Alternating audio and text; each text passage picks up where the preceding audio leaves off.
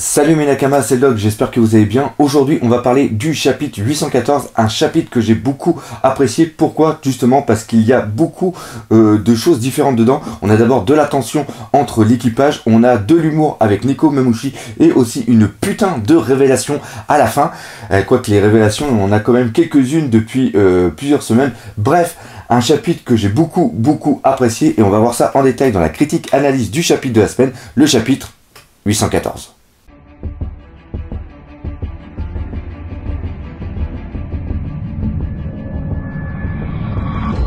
Alors la grosse révélation, bien sûr, c'est le fait qu'on apprend qui est exactement cette famille de Senji, et c'est tout simplement une famille d'assassins. Et là, sur ce coup-là, on peut être un tout petit peu surpris, car je ne vois pas le rôle que pourraient y avoir les assassins au niveau de l'univers de One Piece, parce que tout simplement, il y a déjà une branche assassin pour, euh, euh, euh, le, gouvernement mondial, qui sont les Cypherpole, les CP, et après, pour le reste, eh ben, il y a assez de guerres, puis il y a assez de pirates qui peuvent faire tout ce qu'ils veulent. Là-dedans, on peut quand même faire une petite théorie, et ça sera justement la théorie en lien avec ce chapitre 814 que vous verrez dans la deuxième partie de cette vidéo, tout simplement Levin Smoke, ces putains d'assassins. Et on va s'intéresser tout de suite à la deuxième grosse partie de ce chapitre, c'est un petit peu l'engalade qu'il y a eu dans l'équipage entre Zoro et, je ne dirais pas Luffy, mais entre Zoro surtout et Nami. D'ailleurs, il est très important de remarquer que Nami apporte beaucoup, beaucoup d'attention par rapport à Senji. Elle l'appelle carrément Senjiku, ce qui est quand même énormément euh, très, très important. Et on a vu toujours qu'il y avait une sorte de tension entre Nami et Senji, et le fait de l'avoir tellement préoccupé par, euh, euh, par Senji, ça m'a rappelé un petit peu quelque chose, c'est-à-dire qu'il y a une phrase qui est très très connue, on s'aperçoit de l'importance de certaines choses et de certaines personnes au moment où elles disparaissent. Et là, on peut peut-être rebondir sur quelque chose que moi qui me paraissait totalement inacceptable et totalement incompréhensible, c'est-à-dire un petit truc qui pourrait se passer entre Senji et Nami. Vous voyez parfaitement de quoi je pensais, une sorte de couple improbable mais pourtant qui maintenant aurait toute son importance et maintenant qui aurait toute cette, euh, euh, toute cette tension. Et ça, ça serait quand même assez excellent. Et moi, ce que j'ai vraiment adoré dans ce chapitre, c'est l'importance que prend de plus en plus Zoro et Ichiro Oda en train de nous montrer que Zoro est un personnage hyper réfléchi. Franchement, les deux ans qu'il a passé avec Mihawks, en plus d'apprendre sûrement des techniques de malade, je pense que ça lui a mis pas mal de plomb dans la tête. Il est devenu super super intelligent. Pour rappel, depuis l'arrivée dans le nouveau monde, je trouve que Zoro prend énormément à cœur son rôle de second, de bras droit du capitaine, et je trouve qu'il l'aiguille vachement bien. Premièrement, on avait eu, rappelez-vous, on avait eu dans Punk Hazard, où à un moment il remet en place Luffy en lui disant maintenant dans le nouveau monde, donc garçon il va falloir penser à prendre tes ennemis au sérieux et à te sortir les doigts du cul. Après, on a eu le parfait exemple au niveau du combat contre Pika où il a vraiment analysé toutes les techniques, toute l'utilisation du fruit du démon et ça c'est vraiment excellent parce que d'autres n'avaient pas percuté comment justement il l'utilisait et il a mis en place plusieurs stratégies pour savoir quelle était la meilleure. Et ça c'est vraiment vraiment cool. Et là on le voit justement ici où il dit Senji est peut-être parti, mais c'est de sa faute. Il l'a fait de lui-même, quels que soient les événements qui peuvent se passer à côté. Il avait sûrement moyen de le faire autrement. Et en un sens, ce qu'il a fait, c'est une, entre guillemets, je dirais, une trahison de l'équipage. Et ça, pour moi, ça a quand même été important. On va quand même revenir que euh, Zoro a dit ça sûrement par rapport à, comment expliquer ça? C'est une sorte d'effet. Euh, on peut voir aussi qu'il est vraiment très très lié au niveau de euh, Sanji. On l'avait vu justement quand il était arrivé sur Zoo où il se demandait tout le temps où était euh, Marino, où était le, sourcil euh. Et là, de le voir qu'il est, qu'il est, qu'il est parti, il est sûrement un tout petit peu touché, mais il ne veut pas le montrer. Il reste vraiment terre à terre. Il l'analyse et ça, c'est vraiment, vraiment excellent. Et c'est vraiment quelque chose que j'adore dans l'évolution du personnage de Zoro. Et ça, ça me fait parfaitement penser à Killer qu'on voit par rapport à Kid. C'est-à-dire que c'est au moment de l'alliance où on a euh, Scratchman qui est en train d'engueuler Hawkins. Et là, il y a Kid qui arrive et il a envie de tous les blaster. Et là, il y a Killer qui dit non, non, t'énerve pas, il faut continuer euh, cette alliance parce qu'on on va avoir besoin d'eux. Et ce tempérament réfléchi, ce rôle de second est vraiment très très bien mis en avant par rapport à Zoro. Et c'est quelque chose qui m'étonne car Zoro, on le voyait plus comme quelqu'un qui faisait des alters en dormant, qui était vraiment concentré que sur la force brute du personnage. Et là il remplit, vraiment un rôle qui était plus sur une autre personne. Comme par exemple Senji qu'on voyait que c'était quelqu'un qui était très réfléchi. Et c'était quelqu'un qui était justement par rapport à l'ombre. On l'a vu justement dans Alabasta ou encore tout simplement sur Ennis Lobby, ou ça aurait pu être aussi parfaitement le rôle de Robin qui je trouve n'est pas mis assez en avant pour l'instant depuis les deux ans, ou vu qu'elle a passé deux ans avec les révolutionnaires, elle aurait pu avoir pas mal de connexions avec l'univers de One Piece, beaucoup de, renseignements, et c'est d'ailleurs quelque chose qu'on a vu quand elle dit Smoke, ça me fait penser à quelque chose, mais ça, ça sera dans la deuxième vidéo. Bref, avec tout ce qui se passe, je, comme je vous l'ai dit dans la réaction live de ce chapitre, je vois parfaitement l'équipage devoir se séparer en deux, car maintenant, ils sont face à deux menaces. Premièrement, on a la menace de Kaido. Kaido, cette menace est liée bien sûr à tout ce qui a été la fabrication des smiles. Premièrement, ils ont laté la gueule à César, ils ont détruit euh, l'usine qui fabriquait le SAD. Ça, ça a foutu en run Doflamingo et donc ils ont été sur Dressrosa pour niquer la gueule à Doflamingo et en même temps détruire l'usine des smiles. Ce qui va obligatoirement euh, foutre la, la colère à Kaido.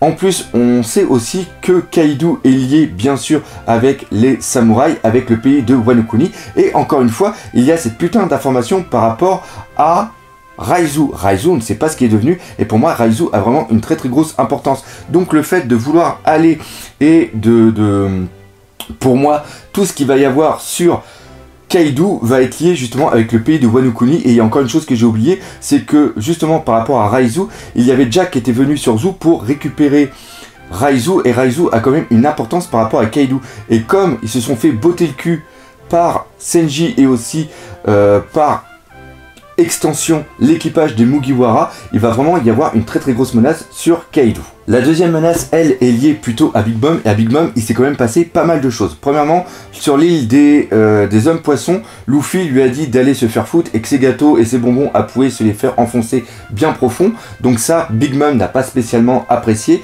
Après, on sait qu'il y a le problème avec le Tea Party, où il y a le sorte de gros trésor, où il y a une bombe qui est enfermée dedans, et après, il y a bien sûr Senji. Et là, on va revenir sur quelque chose pour moi qui a été très très important, c'est-à-dire que Luffy adore ses amis et quand il a compris que si au début, ce qui est marrant, c'est qu'au début, il n'a pas capté justement que le fait que Senji soit parti se marier, lui, il a pris ça comme une bonne chose, c'est-à-dire que ça ramène un équipe, une nouvelle, un nouveau membre dans son équipage.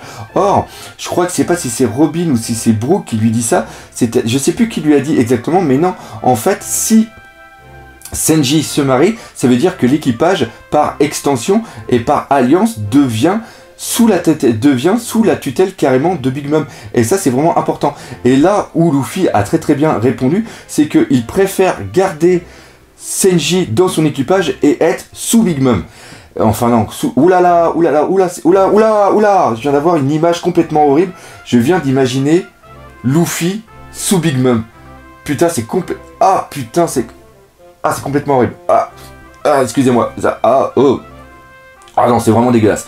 Ah, bah, bref, tout ça, c'est n'importe quoi. Tout ça pour dire que là, on voit encore une fois que Luffy va apporter une très grande importance par rapport à Senji. Et donc, la meilleure solution qu'il a trouvée pour y aller, c'est on va aller poser directement la question à Senji et on va aller au mariage. Et là, il y a quand même quelque chose qui m'a fait super super rire, c'est le fait de Luffy qui dit c'est pas grave, on va aller demander à Senji, on va aller au mariage. Et là, il y a tout le monde qui s'affole. D'ailleurs, il y a Robin qui fait une très très grande, euh, un très très bon truc, c'est-à-dire qu'elle dit euh, Luffy, fais gaffe, là on parle carrément d'un empereur. Elle, elle envoie du lourd. Ouais, oh pas mal là. Là il y, a un petit jeu de mots qui est, là il y a un petit jeu de mots qui est pas mal quand même. Bref, il y a, y, Big Mom euh, qui envoie du pâté aussi, ça c'est aussi c'est pas mal. Et donc on est arrivé dans des ennemis qui sont quand même d'un très d'un autre niveau qu'on n'a pas encore rencontré. Et là il y a Luffy qui dit c'est pas grave, on va faire, on va y aller en infiltration et voir Luffy qui parle d'infiltration, c'est comme si qu'on avait, je sais pas moi, Usopp qui disait c'est pas grave les gars, on va y aller, on va défoncer la gueule de tout le monde. C'est complètement à l'envers du caractère et ça c'est vraiment excellent. Et là maintenant je vais rebondir sur quelque chose que j'ai dit et là on va y arriver pendant la réaction live, c'est-à-dire que l'équipage va être séparé en deux et ça on a déjà eu une annonce qui a été faite par Ishiroda par rapport au dessin en couleur qui donne au début des chapitres. Alors j'ai fait ma petite recherche et la chose qui est importante c'est que dans tous les dessins qu'il y a en début de chapitre qui sont en couleur, on a toujours l'équipage en entier. La seule fois on n'a pas un équipage en entier c'est parce qu'on a eu Zoro et Luffy qui étaient par rapport euh, justement au Rocky ou alors ils ont été deuxième fois mais avec tous les combattants de Dressrosa. Et ça c'est vraiment important parce que dans les deux dessins, on en a un premier où on a une partie de l'équipage qui est habillé en tenue, je dirais, traditionnelle du Japon, qui fait un petit peu justement une référence à Wano Kuni. Et comme je vous ai dit tout à l'heure, Wano Est lié aux samouraïs et les samouraïs sont liés à Kaido. Et sur cette image, on a qui qui sont présents? On a d'abord Luffy, mais Luffy, vu qu'il est capitaine, il doit être présent obligatoirement sur toutes les images. On a aussi Sanji, mais Sanji, on sait qu'il va partir par rapport à Big Mom, mais le reste de l'équipage qui est vraiment important, c'est-à-dire qu'on a Zoro, Nami, on a aussi Chopper et on a aussi Usopp. Et donc pour moi, cette partie de l'équipage, elle ira sur euh, l'aventure de Kaido. Alors par contre, je ne dis pas qu'ils vont y et puis ils vont latter la gueule à Kaido. Mais par contre, ils peuvent, je dirais, préparer le terrain avec aussi euh, l'équipage de l'eau qui a toujours, parce que le but était quand même justement de détruire l'un des, même si le but premier de l'eau c'était bien sûr de détruire Doflamingo, mais je pense encore une fois que Doflamingo a été sauvé par Jack et donc Doflamingo est toujours vivant et toujours avec Kaido. Donc pour moi l'information vraiment importante c'est qu'on va voir l'équipage de l'eau qui va rejoindre la petite euh, délégation où on va avoir Zoro, les samouraïs et après Nami, euh, Nami Chopper et Usopp et eux vont commencer à préparer le terrain, à commencer une sorte de rébellion au niveau de Wano Kuni. Ça, ça va être la première partie. Et la deuxième partie, elle va plus étier par rapport à l'autre dessin qu'on a eu. Et l'autre dessin qu'on a eu, c'est carrément le reste de l'équipage. C'est-à-dire qu'on a Frankie, on a euh, Brooke et on a aussi Robin et bien sûr Luffy. Et eux vont se charger justement de l'infiltration au niveau du mariage de Big Mom avec bien sûr Pecom. Mais ça, on en Pecoms qu'on parlera tout à l'heure. Et cette image justement, on voit euh, l'équipage qui, je rappelle, sont Luffy, Robin, euh, Brooke et aussi Frankie, ils sont habillés en sorte de mafieux, c'est-à-dire qu'ils ont des cigarettes, ils ont des tatouages, ils ont des chapeaux, Luffy a des flingues et ils ont aussi des lunettes de soleil. Et ça on voit quand même le petit côté mafia qui ressort. Et ce côté mafia, ce côté assassin est vraiment lié à Senji par rapport à la famille des assassins mais aussi lié par rapport à euh, Capone BG qui on a vu, lui fait partie de la mafia. Et je trouve que c'est vraiment important et on connaît Ichiro Oda, il ne fait pas ça au hasard. Donc pour moi je vois vraiment cette séparation de l'équipage. Et je ne sais pas du tout comment Ichiro Oda va pouvoir gérer cette affaire parce que là il va quand même avoir beaucoup d'histoires et le fait que Ichiro Oda aime beaucoup beaucoup détailler, franchement je sais pas où on en est parti, et eh ben, c'est tout simple, comme je l'ai dit dans une dernière vidéo, je pense qu'on en est encore pour au moins 10 ans de One Piece, puis ça en un c'est cool parce que moi ça va me faire du boulot. Maintenant, on va parler de la deuxième chose que j'ai beaucoup adoré dans ce chapitre, c'est tout l'effet comique qu'il y a par rapport à Neko Mamushi. Vous avez vu euh, dans ma réaction là, j'étais complètement pété de rire. Le coup de le voir jouer avec une balle, le coup aussi qu'il se fasse complètement engueuler par Chopper, puis qu'il dise presque rien, qu'il n'hurle pas euh, euh, comme, un, comme un gros malade, puis qu'il dit, oh, tout me fait, si j'ai décidé d'aller dans le lit, c'est moi qui ai choisi. D'ailleurs, au fait, merci les amis, j'avais pas du tout percuté le coup de la lasagne, c'est une référence par rapport à Garfield. Moi, Garfield, je les ai lus beaucoup quand c'était les petits strips qui avait dans les journaux, mais j'ai pas regardé le dessin animé et j'ai pas du tout regardé le film, donc je ne sais pas si le coup de la lasagne était aussi lié au film ou alors aussi à la, euh, au dessin animé qui passait à la télé. Bref, tout ça pour dire que Toute l'évolution qu'il y a au personnage est vraiment excellente car c'est un personnage maintenant que je m'attache. Au début, je ne l'aimais pas, je préférais Inu Arashi, mais Inu Arashi, il nous a pas fait voir de deuxième visage au niveau de ce personnage. On voit toujours que c'est quelqu'un qui est vraiment très très froid, et là par contre, on peut vraiment voir une opposition entre les deux, et on peut comprendre pourquoi ils se font, ils s'engueulent tellement, parce que je pense que Neko Maruchi devait tout le temps faire le con, alors que lui, Inu Arashi, devait toujours être droit, devait toujours être fixe, et c'est peut-être pour ça justement qu'ils se sont engueulés. Et Franchement, c'est quelque chose de dingue car au début, Neko Mamushi était montré comme quelqu'un de super antipathique, quelqu'un de vachement fort, qui allait tout le temps à la baston et qui devait jamais jamais rigoler, alors que là c'est totalement l'inverse et c'est ça que j'adore avec Ishiroda, c'est-à-dire qu'en l'espace de quelques pages, transformer toute la vision qu'on a sur un personnage et il nous avait fait le coup avec Corazon et là il nous fait le coup encore une fois avec Neko Mamushi le fait aussi qu'il n'ait plus de qu'il ait, qu'il ait un mognon, puis qu'il ait mis une cuillère au bout du mognon, le coup qu'il joue avec une balle, le coup qu'il ait peur des piqûres, putain, mais c'est génial. Le, Neko Mamushi, c'est un putain de gros chat super badass, il a peur des piqûres. C'est complètement dingue. Et encore une fois, voir Chopper comment il a réagi par rapport à Nekomamushi en lui disant mais c'est quoi que tu comprends pas dans limiter tes mouvements ou tout ça, c'est vraiment quelque chose de dingue. Et justement en parlant de Chopper, là on a un petit Chopper in love qui est vraiment excellent. Le fait qu'il soit tombé amoureux d'une reine, d'une mix reine, c'est vraiment cool. Et ça, ça sera quelque chose pour la fin de One Piece. Ça sera vraiment quelque chose d'excellent où il va voir son petit couple, il va enfin pouvoir fonder une famille. Et je trouve vraiment pareil, c'est en image, en une seule image, mais c'est quelque chose qu'avait dit justement Ishiroda dans un SBS, je ne me rappelle plus lequel, il faut d'ailleurs que je vous fasse des vidéos sur les C'est encore un truc, encore une prévision, c'est vraiment très très beau et c'est quelque chose qui m'a fait super plaisir.